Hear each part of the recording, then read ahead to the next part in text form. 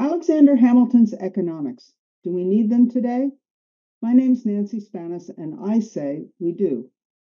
I am a public historian. I've been studying Alexander Hamilton since the middle of the 1970s, and particularly looking at the documents which he wrote that described his vision for the American economy. Subsequently, I've written two books on that question. One of them, the first, Hamilton versus Wall Street, the core principles of the American Revolution. And the second, just more recently, defeating slavery, Hamilton's American system showed the way. Both of those books deal with what the vision was of, that Hamilton had and what he put in place to turn us from a slave based economy in many parts to an industrial economy that would prosper and bring peace to our nation and to the rest of the world.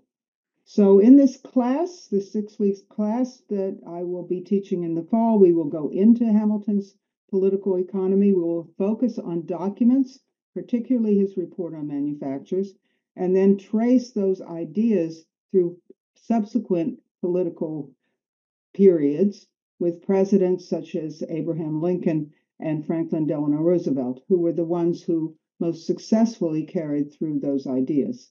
So if you're prepared to really buckle down and look at some of that history, concentrating on original documents, then I hope you will join me and at the conclusion agree with me that yes, we need Alexander Hamilton's economics today.